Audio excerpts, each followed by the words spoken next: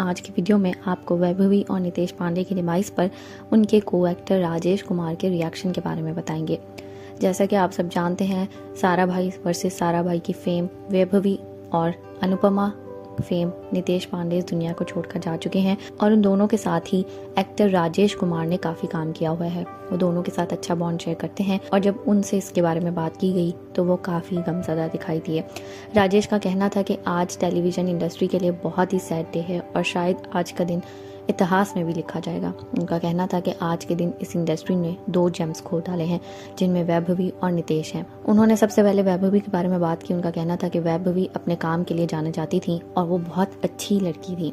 उनका कहना था कि वैभवी के बारे में जब उनको पता चला तो वो ये यकीन ही नहीं कर पाए कि वो सिर्फ़ इतनी छोटी उम्र में थी और उनको घूमने का बहुत शौक था।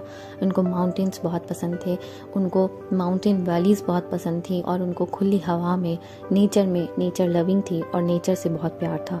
और वो उनके बारे में जब उनको पता लगा कि किस तरह से उनकी हत्या हुई है तो उनके लिए ये बहुत ही दुख भरी बात थी। और साथ में जब वो नितेश कुमार के बारे में बात करे थे तो वो बिल्कुल रो पड़े। क्योंकि नितेश पांडे और राजेश कुमार एक दूसरे के बहुत क्लोज फ्रेंड्स रह चुके हैं। राजेश कुमार का कहना था कि वो नितेश के तब के फ्रेंड हैं, जब बिल्कुल टीवी मोबाइल कुछ नहीं हुआ करता था और वो दोनों मोबाइल या रील पर एक दूसरे के साथ नहीं थे, वो रियल फ्रेंड्स थे। उन्होंने बताया कि जब भी वो किसी शो में एक साथ कास्ट होते थे तो वो दोनों बहुत खुश होते थे, लेकिन बाकी क्रू मेंबर काफ़ी ज़्यादा परेशान रहते थे क्योंकि वो दोनों बहुत ज़्यादा रैगिंग करते थे और वो सबसे ज़्यादा तंग करते थे और वो बहुत मस्ती मज़ाक करते थे, जिसको लेकर सेट पर काफ़ी ज़्यादा रोलर कोस्टर क्रिएट रहता था। उनका कहना था कि वो सेट पर सबसे ज़्यादा बिग बुलीज थे और वो सबको तंग करते रहते थे, हँसते उड़ाते रहते थे, मज़ाक करते रहते थे और अब जब वो इस सब के बारे में सोचते हैं तो वो बहुत दुखी हैं। उनका कहना है कि हम दोनों एक साथ पढ़े थे, हम चाइल्डहुड फ्रेंड्स हैं और मैं ये सोचता था कि हम दोनों साथ बूढ़े हो जाएँगे, हम दोनों जब साथ रिटायरमेंट ले लेंगे तो हम अपने काम के बारे में बात किया करेंगे,